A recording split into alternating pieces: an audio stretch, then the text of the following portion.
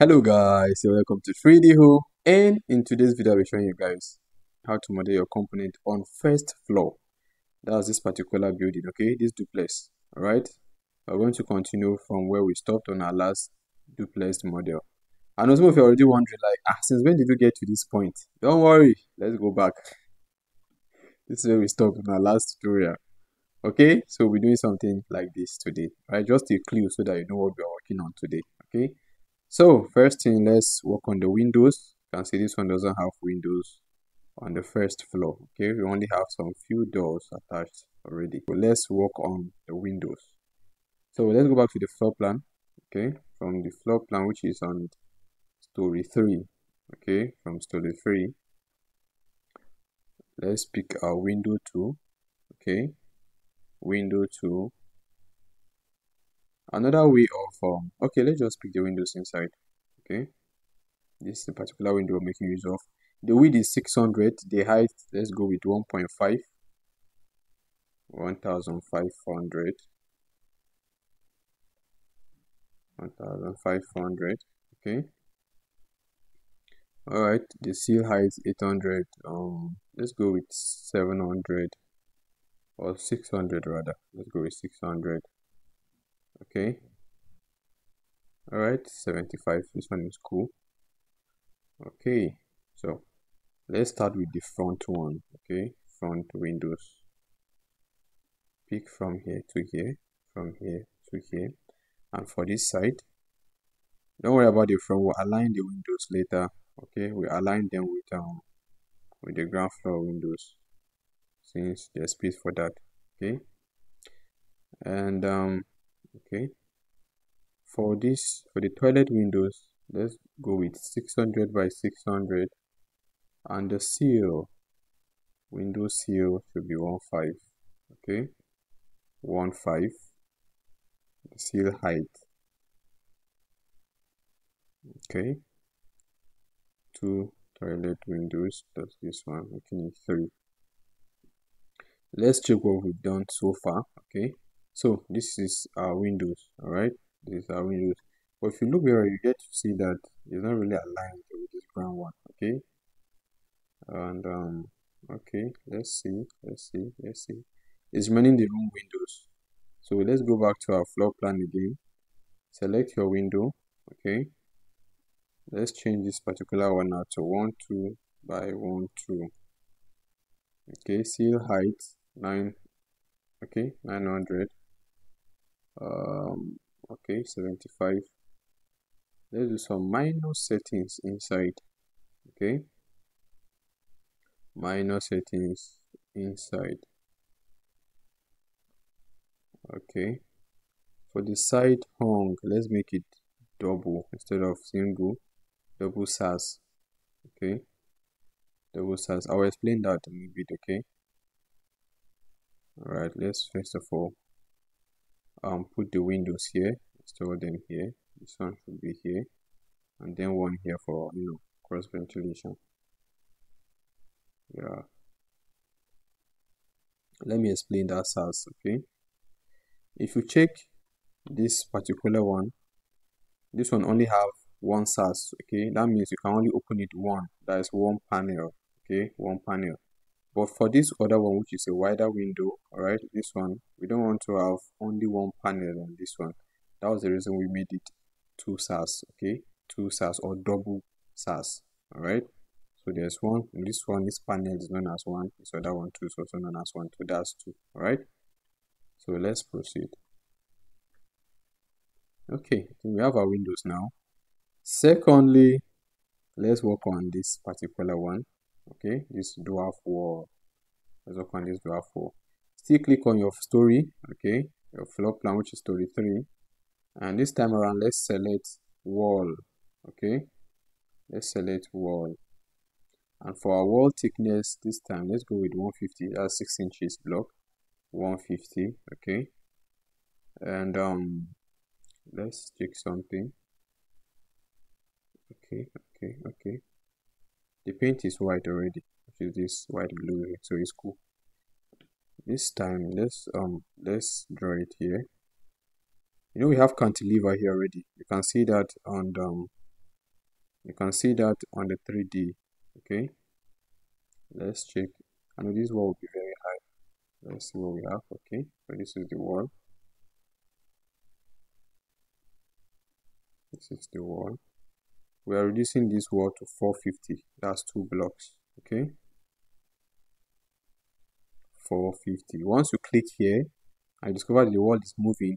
Go back to this point okay and click on stretch stretch height and type in 450 okay? 450 click on the second wall. This time around just pull it down. Align it with this other line this other wall. Click on this one too same thing pick any of the node and then highlight it and align it with this particular one okay? So let's see what we've done.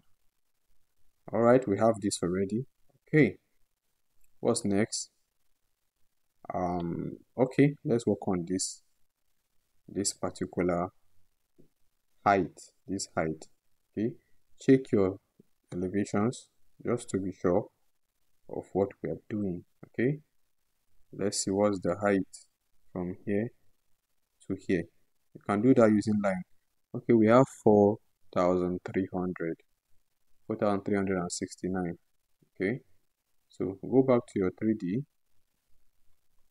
for this particular one all right? Click on the first one this one. Click on here. Okay you're still on that stretch. So click 4000 4369 i guess yeah. I think i'm correct. So this is what we have. Same thing here. Raise this one to this point? Okay. Raise this other one to to this point? All right to the same point. Okay. So let's see how far we've done. But before then remember we haven't aligned these windows. They are still on their own. So let's try and align them first okay click your south elevation. Click on this window. Click on this first node. All right this one permits you to move around. Then hold down your shift key and align. You see a line coming out. Trace this line this external line and click there. Okay? Automatically this one now have aligned itself. Click on this one too. Pick on this one. Okay? Hold down your shift key. And then align then leave the shift key. Same thing with this one. You can see if, if you were to draw a vertical line you see that they're not aligned okay? So click on this one to hold click on this first point the node. Hold down your shift okay? Click. Click on this other one too. Hold down this point. Any point sure but since hold down your shift key and aligned on this particular edge so we have the same thing both up and downstairs okay? So go back to your 3d let's see what we've done so far. This is what we have. What's next now? Okay this time around let's model this particular um design. This design. Let's work on this particular design. Is this. And we're making use of let's make use of the slab tool okay? Let's make use of the slab tool so for the extension okay from here to here is 450 let's make sure that first to be sure. Let's make sure that to be sure okay? 450 okay it's 400 it's 400 okay? All right so click on your slab. And then from here hold down your shift key plus tap d once okay? And type in type in the distance 400 same thing from here. Hold down your shift key.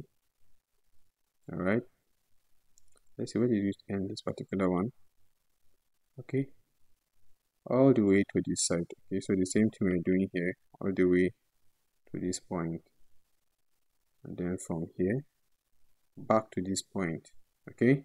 Then pick your arrow tool click on this particular one right click outside and type in make sure it's under this offset edge type in 400 then from here now still pick the same slab okay? And click from this point. By this this time around let's um, make use of this square okay? And click here all right let's check out 3d now. So this is what we have which is this okay? Just this. So click on this one. Hold down your shift key click on this one to take this one down. Down to this point. You can hold down your shift key okay? Down to this point and click. And um the thickness okay? The thickness this time around let's make it 450 let's make this 450 okay let this be 4 450 so just take this one down a little bit and then click on the first one which is this one all right and drag this one up. But you notice that everything is moving up okay? So click on this stretch this stretch height okay? Click on stretch height and bring it to this point. Bring it to this point okay? And now pick the same one okay? Click instead of stretching it click on this arrow this box which is the move all right and click on tap in control once all right to activate your duplicate. So from here now okay? From here now look what we have here okay? What we have here. Look at the space down here. So take this one check this point. This one has to go up a little more. Okay so take this one up a little more. And now click on this one. Click on this stretch right? Stretch and then align it with this point. Okay. So let's bring this one forward a little bit. Okay. To this point and um pick on slab again. Then we're drawing from here to this point. Okay from this point now 400 down to this point. Okay down to this point. Then we click here and join everything back. So let's see what we have. All right so click here change the thickness to instead of 150 change the thickness to 400 i'm sorry 450 rather. To 450 okay. Okay. So you can see we are getting it already.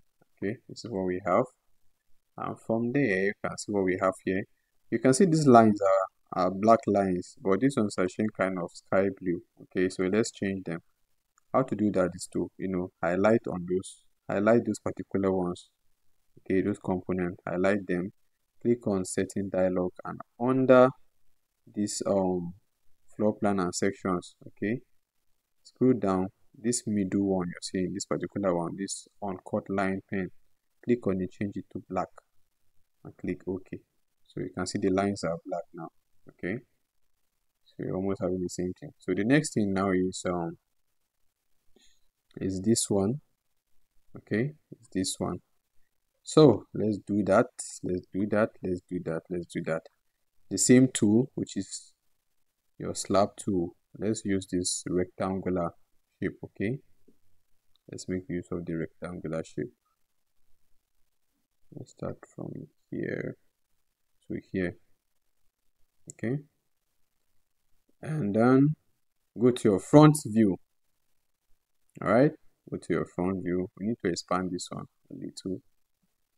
Oh, yep to your front view you can see the thickness starts above this line. So the same thing we're doing here. We're taking this slab up okay up to this point to this point. And from here what about the height? The same thing. The height is the same thing. So go back to your 3d okay? From 3d now let's take this one up. Okay? Let's take this one up. Let me first of all show what is happening here okay? This is what is happening here like a slab. So we're taking this one up to okay? So pick click on this one select this point and then it's still on that stretch. Then we take this one up to this point. All right same thing we have now so you click on this one then change it back change the color. Remember what i said that time? So it's from here this middle one which is the on on cut line pane okay click on it select the dark color the line color you want. So then for this other wall i'm bringing them up from here. Stretch again don't forget to stretch. Anytime you find out that the wall is moving make sure you click on stretch. Okay and for this other line this other wall okay we're taking everything up right? Everything is coming up. So you click on the wall bring the wall up too okay? So this is what we've done so far okay? Can you spot the difference all right let's just um work on the staircase um the steps entrance steps. Which is this one okay let's work on the entrance steps. Then then we'll call it the day for today's tutorial. All right same thing click on floor plan okay? This time around let's go to first floor or ground floor. Let's go to first ground floor. Yeah let's go to ground floor click on slab before then change the okay thickness is 150 so it's okay. Go back to this single line okay this geometry this polygonal click on it. Okay let's draw a line a distance of 300 same thing from here to here from this point to this point to this point okay. Click on the line click on move. See now you're stretching yourself so click on drag, tap control once, drop it here. Let's check our 3D. Let's see what we have here. Okay, this first one, click on this node, raise it up, type in 300. And then for the second one, but before then, uh, we need to raise this thing up. Okay, let's just finish this one first. This one 300. Go to south elevation, okay south elevation you can see the two slabs here now.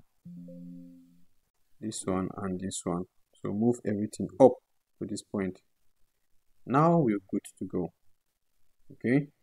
So let's check our 3d now. So we have we have steps now the two steps.